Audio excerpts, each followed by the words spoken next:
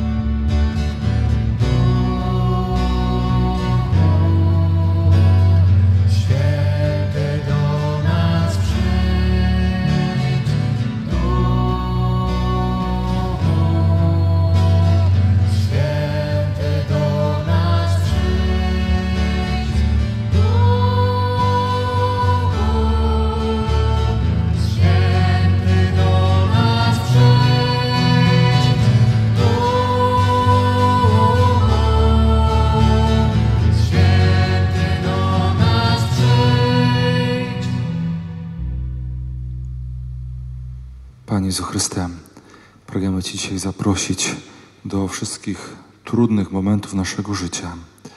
Ty, Panie, wiesz, co się dzieje w naszych rodzinach, w naszej ojczyźnie. Ty, Panie, wiesz, co dzieje się na świecie. Prosimy Cię, Panie Jezu, o pokój tam, gdzie trwa wojna. Prosimy Cię, Panie Jezu, o pokój w naszej ojczyźnie. Prosimy Cię, Panie Jezu, o pokój w naszych rodzinach. Prosimy Cię, Panie Jezu, o pokój w naszych sercach. Przyjdź, Panie Jezu, do tego wszystkiego, co jest trudne, niezrozumiałe dla nas, co przekracza nasze ludzkie możliwości zmiany, poprawy. Jezu, zapraszamy Ciebie w mocy swojego ducha. Przyjdź do tych wszystkich momentów. Przyjdź do tych osób, które mają problemy ze zdrowiem. Prosimy Cię, Panie Jezu Chryste, aby dzisiaj nas uwalniał i uzdrawiał. Uzdrawiaj nas, Panie Jezu, z różnych chorób, które mamy. Możesz teraz sercu, w ciszy powiedzieć Panu Jezusowi, z czym sobie nie radzisz. Powiedz te choroby, które masz, powiedz te problemy, które masz. Jeśli brakuje Ci w życiu cierpliwości, również to Panu Jezusowi możesz chwili ciszy powiedzieć. Trzeba budować relacje z Jezusem, właśnie wyjawiając Mu pragnienia swojego serca.